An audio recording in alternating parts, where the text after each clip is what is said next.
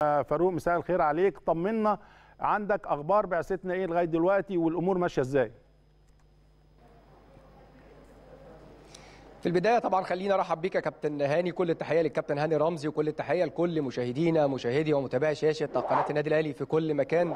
نقطة في غاية الأهمية اللي حضرتك أثرتها في البداية الربط دايما ما بين النادي الأهلي ومنافسه الأول طبعا على البطولات القارية ونادي ريال مدريد. ده إن دل بيدل على قيمه ومكانة النادي الأهلي وأيضا بيدل على المسؤولية الملقاة على عاتق عاتق لاعبي النادي الأهلي وجهازه الفني.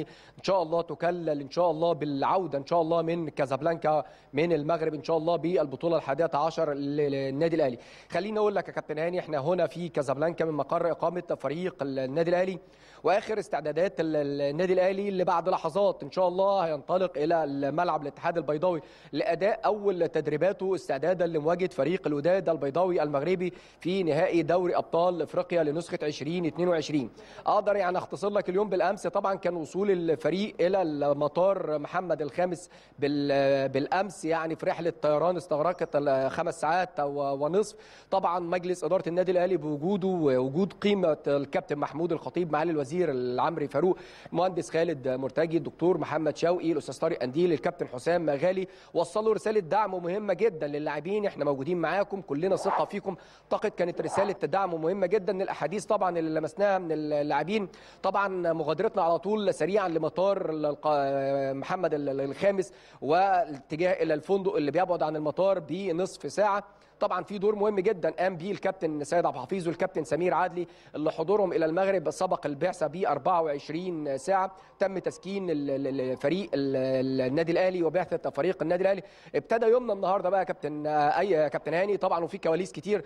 يومنا النهارده ابتدى كان في تمام الساعة العاشرة صباحا كان تناول اللاعبين لوجبة الإفطار. طبعا كان في اجتماع طبعا الكابتن محمود الخطيب مع أفراد البعثة الإعلامية للنادي الأهلي. طبعا دور كبير جدا وحوافز كتير جدا بيتم خلقها للاعبين. توفير جو مناسب طبعا لبعثة اللاعبين إن شاء الله إن هم يكونوا في يومهم إن شاء الله ويأدوا مباراة تليق باسم وقيمة ومكانة النادي الأهلي.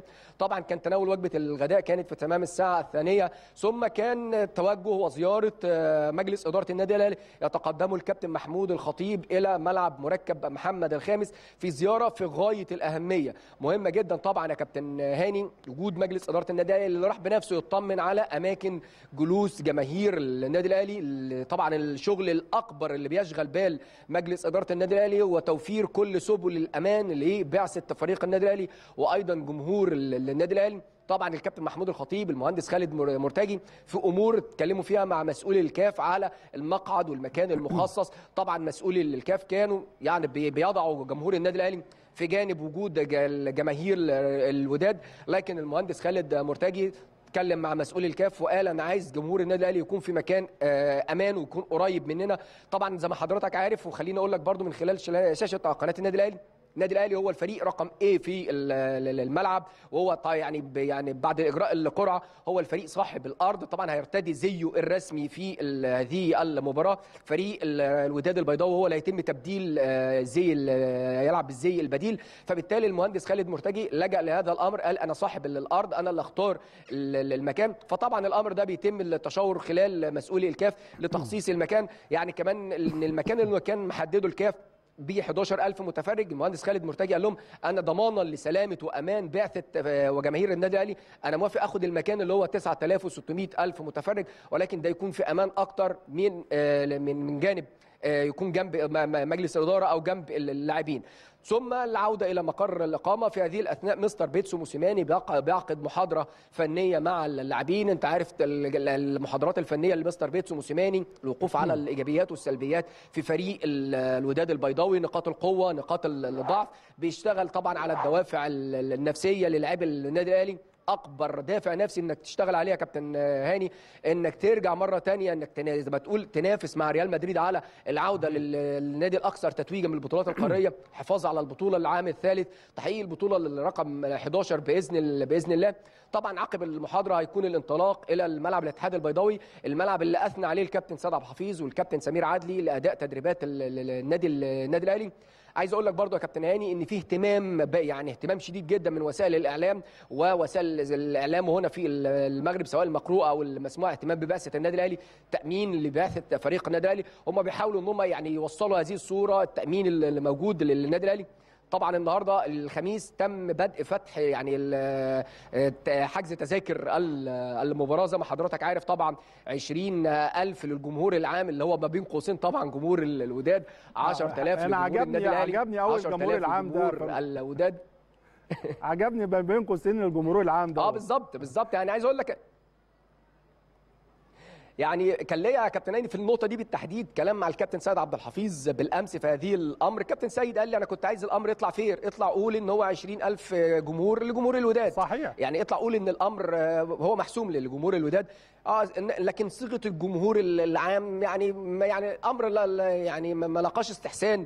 آه، بعثه فريق النادي الأهلي الكابتن سيد عبد الحفيظ اللي اتكلم في هذه ال- النقطه قال لك إحنا عايزين الأمر فير. 10000 للأهلي 10000 للوداد لكن 20000 جمهور عام دي كانت نقطة مه- مهمة جدا طبعا يا كابتن آه، هاني. لكن خليني برضو أطمنك إن في تفاؤل عند اللاعبين ولكن تفاؤل بحذر.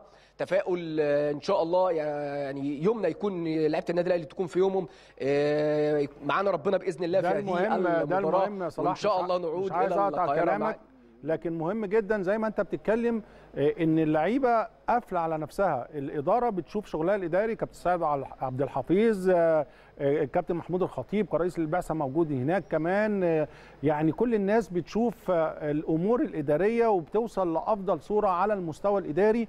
الجزء الثاني اللي أنت بتتكلم فيه الجزء الفني. اللعيبة قافلة على نفسها بشكل كويس في محاضرات فنية في تحفيزات. واعتقادي الشخصي التحفيز النفسي بيبقى سهل قوي واعتقادي كمان اللعيبة كمان من نفسها. ولما اللعيبة بتقعد مع بعض الحوافز كبيرة جدا جدا وأنا لو كنت مكان اللعيبة دي كمان الحوافز هتديني يعني دفعة من اللي حصل الفترة اللي فاتت وإن مفيش فير حتى على المستوى على مستوى الملعب مفيش فير من خلال الكاف مفيش مفيش مفيش. كل ده صدقني إن شاء الله بيتحول لدوافع وبيتحول لإن شاء الله بإذن الله يعني ثقة كمان موجودة عند لاعيبتنا فالصوره الصورة لغاية دلوقتي الحمد لله صورة جيدة. كنت عايز أسألك على آه، الصحف كتبت إيه؟ الجرايد كتبت إيه على وصول النادي الأهلي؟ هل في بعض العناوين ممكن تكون فيها يعني مستفزة شوية للاعبتنا؟ هل بعض العناوين فيها تشجيع؟ أكيد لفريق الوداد. العناوين عناوين الصحافة كان آه، مضمونها إيه يا فاروق؟ نقطة مهمة جدا يا كابتن هاني. يعني أشهر المواقع أو الجرايد سواء المنتخب أو البطولة اتكلمت على وصول فريق النادي الأهلي وقالت الأهلي يبحث عن مجد جديد. عايز أقول لك إن ال ال ال يعني ال- الصيغة دلوقتي في ال- الأوساط الإعلامية في المغرب بتميل يعني أنت عارف يعني زي ما بيقولوا كده التنويم المغناطيسي شوية. يعني تناولوا تصريحات آه، وليد الرجراج المدير الفني لفريق الوداد قال أنا بواجه أكبر فريق في القارة الأفريقية الفريق المرشح الأول للبطولة. عنده عناصر مهمة جدا. معاه مدير فني هو هو الأفضل داخل القارة السمراء. كلها تصريحات يعني تمجيد في النادي الأهلي. طبعا هي قيمة ومكانة النادي الأهلي طبعا كبيرة. ولكن تصريحات خارج يعني بد- بدأت تخرج في الاتجاه إن أنا يعني آه، بتبقى بتخلق دوافع. بيستغلها وليد الرجراج انه عايز يخلق دوافع للعيبة بتاعته. قال فريق النادي الأهلي هو مرشح. عنده عناصر كبيرة آه، قوية جدا في نص الملعب. اتكلم على ديانج واتكلم على السوليه وحمدي فتحي. وأيضا اتكلم على محمد شريف. قال له هداف الفريق بستة أهداف. الصحافة أيضا اتكلمت على آه، بدء طرح طبعا تذاكر ال- ال- المباراة اتكلمت على آه، استعدادات فريق الوداد أيضا في الجانب الآخر والمعسكر اللي بي- بيقام في آه، بلدة بلده المعمورة في ملعب أو المدينة الرياضية لمحمد الملك محمد السادس اللي بيوفره الاتحاد المغربي. عايز أقول لحضرتك برضو نقطة في غاية الأهمية الاتحاد المغربي هنا يا كابتن هاني بيوفر كل وسائل الدعم لبعثة أو لفريق ال- الوداد من توفير كافة الملاعب طبعا مع تأجيل مباراته أمام فريق الرجاء كل يعني رجال أو كل المسؤولين في الاتحاد المغربي في كل الدعم بكل الصور مقدمة لفريق الوداد خليني أحسم لك هذا ال- الأمر. آه، طبعا الفريق أيضا هيتمرن على ملعب مركب محمد الخامس ثلاث تدريبات بدءا من من الغد ال- الجمعة السبت الأحد. وده أمر مو- موفره الاتحاد المغربي لفريق ال- الوداد البيضاوي. وسائل الإعلام الإعلام اتكلمت على وصول بعثه فريق النادي الأهلي واتكلمت على التأمين المشدد لبعثه فريق ال- ال- النادي الأهلي. عملت مقارنة ما بين أليو ما بين عمرو السولية ولاعب جبران لاعب فريق ال- الوداد وقالوا إن الاثنين من العناصر القوة في في الأهلي أو في فريق ال- ال- الوداد. أمور حتى الآن خلينا نتكلم حتى الآن الأجواء هادئة في الأوساط ال- الإعلامية. محاوله تهدئة محاوله إبراز قوة النادي الأهلي خلق دوافع للاعبي الوداد في ال- هذه المباراة. ما فيش شك كمان أنا يعني استغربت كمان إن يعني هو فريق الوداد طبيعي جدا في البطوله الافريقيه إن كل لعيب أو كل فريق بيكون ليه تدريبة واحدة على الملعب الأساسي وبالتالي كمان دلوقتي فريق الوداد عنده ثلاث تدريبات على الملعب الرئيسي.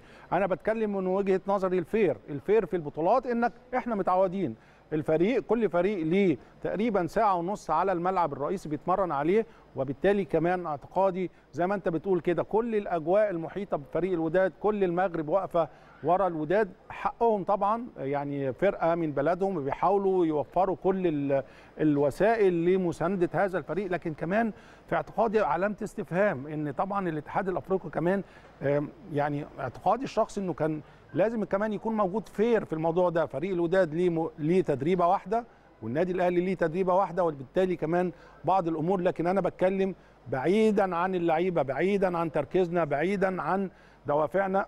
أنا بتكلم كمان في الشأن الإداري. كل دوت إن شاء الله يا فاروق يعني إحنا الأول بنشكرك شكرا جزيلا طبعا على كل المعلومات وتواجدك هناك مع بعثتنا. وإن شاء الله على تواصل دايما معاك نطمن على فرقتنا. شكرا جزيلا فاروق صلاح من المغرب.